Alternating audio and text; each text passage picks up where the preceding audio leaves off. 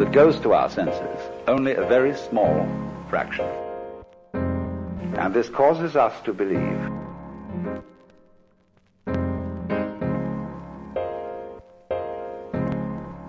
that we are separate beings, isolated by the boundary of the epidermis